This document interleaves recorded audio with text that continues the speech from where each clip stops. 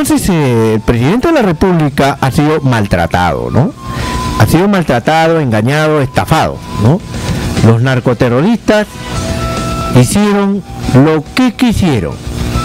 ¿Ah? Secuestraron a 40 trabajadores la madrugada, los llevaron, los introdujeron en la espesura de la selva, enloquecieron al gobierno, los ineptos ministros, el trío de la mediocridad y de la ineptitud y de la incompetencia, el trío Valdés, Lozada, Otárola, enloquecieron y hicieron decir al presidente, 1500 efectivos van a ir a perseguir a estos narcoterroristas. Oiga, ¿qué pasó?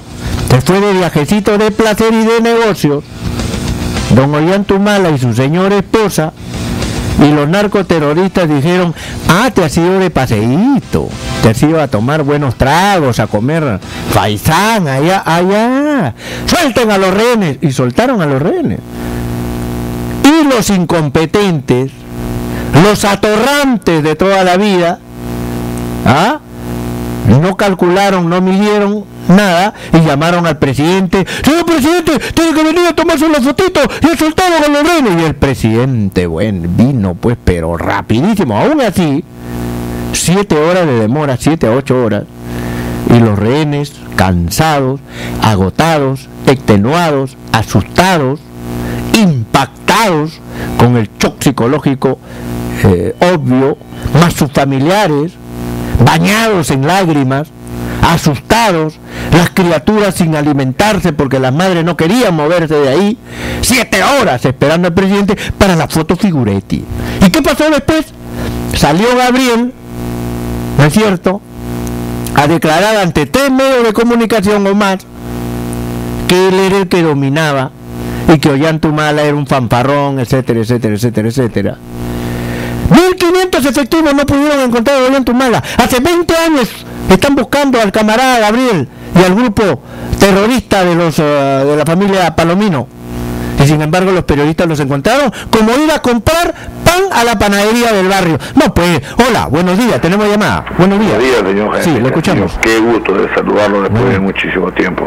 Gracias. Pero escuchando siempre su programa los días sábados. Gracias. Fíjese, ya era tiempo ya que en Radio Moderna alguien contestara bien el teléfono.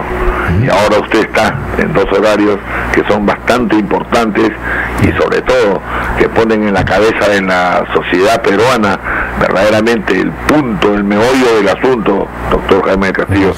Yo lo llamaba para saludarlo y felicitarlo y me da mucho gusto. Gracias. Dios le bendiga en su programación. Muchas Bueno. gracias. Hasta luego. Gracias amigo, muchas gracias, Dios lo bendiga a usted también. Muy bien amigos, entonces, así están las cosas. Así están las cosas. El presidente de la República quedó en ridículo. Después que se tomaron la foto, los periodistas dijeron, esto no nos huele bien, esto no está bien. La hermana de nuestra heroína Nancy Flores Paucar, la capitana, Policía Nacional de Perú, que en paz descanse y que de Dios goce, una joven, hermosa y talentosa mujer que servía a todos los peruanos, porque ahora ya sabemos que era una profesional A1. Ustedes saben que hasta la embajadora de Estados Unidos, Rose Licking, estuvo en su entierro, porque ella estaba trabajando en coordinación con la DEA por su alta calidad y ella no tenía por qué subir a esos helicópteros que son como si fuesen helicópteros hechos de, leche- de, de tarro de leche gloria porque no están hechos para combate. O sea una bala hasta una bala 38 la perfora porque no está blindado no está equipado y la capitana Flores Pauca no tenía por qué viajar en esos helicópteros que son solamente helicópteros de reconocimiento liviano, una cosa para llevar este eh, agua a los cuyes, una cosa así. Es, es- simplemente un helicóptero de servicio elemental, básico, ¿no? Oye, llévate lo- lo- los calzoncillos lavados de, la- de los oficiales a, la otra cuadra y se taca, taca, taca, y lo lleva y nada más. No son helicópteros de guerra, blindados con ametralladoras. No, la mandaron a morir. ¿Cómo a decir, vaya usted a, perseguir a, los narcoterroristas que tienen los 40 rehenes en un avión de lata de leche gloria. Por Dios, ¿qué es esto? Dos, tres balazos, muerta la capitana. Y los heridos que todos sabemos. ¿Quién es el responsable? Alberto La Peñaranda, señor. El ministro de Defensa y también el ministro del Interior, Daniel Lozada Casapía. Y como no, el primer ministro Oscar Valdés, que hace rato debe estar en su casa. Así están las cosas. Sueltan a los rehenes. Los narcoterroristas calculan que Ollanta y, y están en Cartagena, sueltan a los rehenes, viene apuradito. Ollanta Humala hace demorar siete horas a los asustados y exangües rehenes se va a Palacio de Gobierno y cree que ya hizo la gran obra. Y luego los periodistas, repito, dijeron esto apesta. La hermana de la heroína, decíamos, Nancy Flores Paucar, había denunciado le estaban debiendo cuatro meses de viáticos a esta importante profesional que se está fajando. O sea, está corriendo en riesgo su vida en el BRAE y sin embargo no le pagaban viáticos cuatro meses. Ese es canallada, ¿no? Ese es ser malo, ¿no? Ese es ser perverso ese es ser incompetente, señor ministro. Daniel Lozada Casapía. Ese es ser incompetente, ser incapaz y ser insensible. Porque son oficiales que hay que tenerlos engreídos, porque se están pagando. Es su vida, son sus familias las que están preocupadas noche y día, y sin embargo cuatro meses de viáticos sin pago. Y la prensa dijo, no, esto no está bien, ¿no? Porque la hermana dijo, mi hermana, la que ha, fallecido, Nancy Flores Paucar, no ha debido ir en ese helicóptero. La prensa, como nos corresponde, digo, no, esto está mal, ¿no? Algo está mal. O hay jefes de comando mediocres, perversos o mafiosos entregados al narcoterrorismo, o es un ministro que la verdad de las cosas está para ir a barrer, ¿no es cierto?, las calles del distrito de Huamancaca, ¿no es cierto? Simplemente algo está sucio acá y los peritas se fueron a ubicar el helicóptero. Y cuando estaban internándose en la selva, oh maravilla, apareció el camarada Gabriel. Y le dijo, hola muchachos, ¿cómo están ustedes? Acá estoy yo, tómenme fotos. Y el camarada Gabriel, el líder y asesino, feroz y brutal, se tomó fotos con, su cuadrilla, ¿no? De vigilantes, ¿no? Y prestó declaraciones amplias, porque hasta un discurso se mandó, ahí está circulando en, las redes, ahí está la información, ¿no es cierto? ¿Y qué pasó? Que esa información dio la vuelta al mundo, las imágenes, el video, las declaraciones, ¿y cómo quedó el presidente de la, de la República? Zurrado, zurrado ¿Cómo quedaron el premier Oscar Valdés y sus ministros, estrellas? Daniel Lozada Casapía y Alberto Taro La Peñaranda, ¿cómo quedaron como mentirosos, como estafadores, como incompetentes, como mediocres?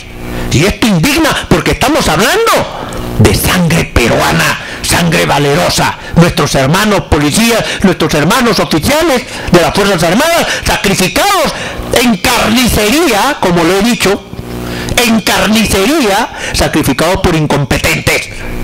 ¿Qué hace Oscar Valdés en su cargo? Hace rato que por vergüenza ha debido retirarse. Con él todo ese gabinete. No sé, no sé qué le pasa a nuestro presidente Ollanta Humala. De repente la vergüenza ha sido tan grande que hasta lágrimas, supongo yo, de impotencia, de rabia y de coraje habrá, habrá hecho brotar de sus ojos, cerrado, encerrado, perdón, en su cámara nupcial con su señora esposa, en lo más privado de su vida, y habrá llorado sangre por tener incompetentes, incapaces y estafadores como ministro. Y él, siendo militar, ha permitido que se derrame la sangre de valerosos oficiales y valiosos, porque son gente que está ahí con debida información y preparación que tenían que dar para más. La capitana Nancy Flores Paucar, un profesional de alto nivel, una profesional de alto nivel. A nosotros nos duele, nos fastidia. Tenemos una herida abierta ahí que no cierra. Y cada vez que tratamos el tema, limón y ají nos cae en la herida. Y nos da rabia, impotencia. Por nosotros, de una patada en las cuatro letras, por Dios, sacaríamos esos ministros incompetentes. Valdés, Lozada, Otárola, ¿qué hacen ahí? Tres muertos, diez heridos, dos desaparecidos. ¿Qué es esto? Esta es una derrota absoluta del gobierno. Con respecto a la ubicación que hacen los periodistas profesionales que querían constatar la noticia, porque eso es lo que hace un periodista profesional. Si no, sería un vulgar chismoso. ¿Qué hace un periodista profesional? Contata y confirma la noticia. No es que te digan, oye, manito, están robando ahí, y, no, no, tienes que constatar, cruzar información. Esa es la labor periodística elemental, básica. ¿Qué hizo el periodista? Confirmar la existencia del helicóptero caído, ver los restos y obtener información. Y se encontraron con el camarada Gabriel, porque Gabriel sabe lo que está haciendo, porque domina esa área. 1.500 efectivos nunca lo cercaron. Y se ríe de ellos y se ríe del gobierno. Bueno, para empezar, los narcoterroristas no están en actividad criminal desde ayer.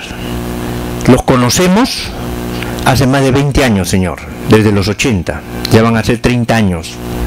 Así que no, ese, argumento no resiste el menor análisis. Y si lo saben encontrar los periodistas es porque tienen pleno dominio, pues. Y porque la policía y las Fuerzas Armadas, mal conducidas, nos están engañando, pues, nos están estafando. ¿Correcto? Hola, buenos días. Hola. Sí, buenos días. Buen día, don Jaime. Lo felicito sinceramente porque usted le rompe la columna vertebral a la mentira del gobierno. Y la mentira, eso es su virtud.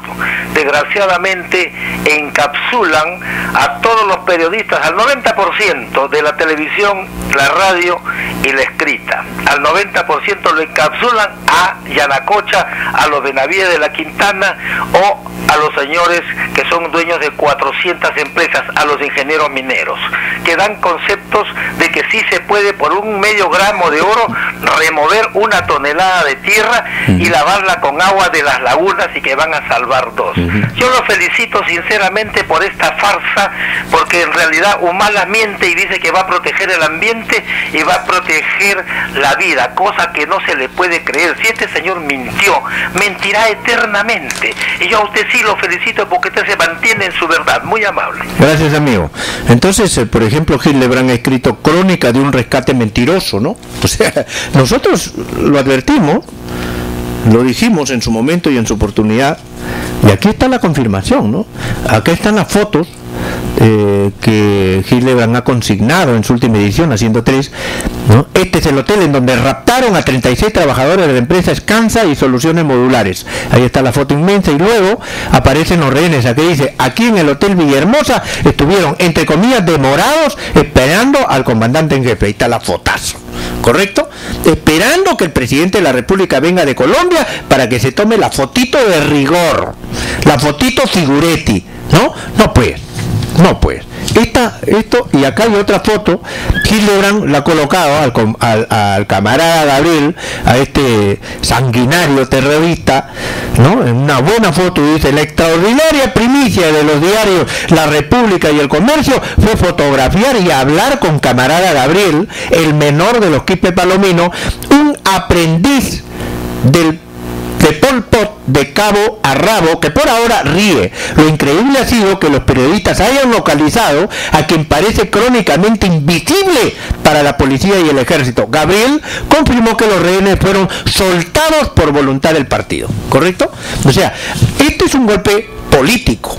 Definitivamente, el narcoterrorismo, o sea, el narcotráfico aliado al terrorismo, criminal, asesino, impío, le ha dicho al gobierno, no mientas a la gente, pues, que aquí no está acercando a nadie, que aquí no domina nada y que yo soy el que domina el área. ¿No? Es el mensaje clarísimo, ¿no? Entonces, esto ha dejado en ridículo al presidente de la República, que inclusive vistió el uniforme militar nuevamente, ¿no?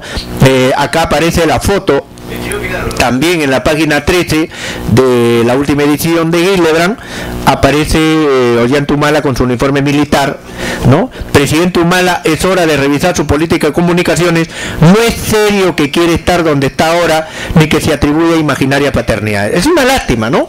Porque los que hemos vestido el uniforme nos sentimos también ofendidos, ¿no? Nos sentimos mal, porque aquí han llevado a error al presidente de la República. Y estos ministros ya deben estar en su casa. Yo no sé qué el presidente de la República para exigir que se vaya, así como apuraron y apresuraron la salida de Xiaomi, así como apresuraron la salida de Xiaomi, ¿recuerdan? Así igual hay que apresurar a marcha forzada la salida de Oscar Valdés, Daniel Lozada y Alberto Tarola. Bueno,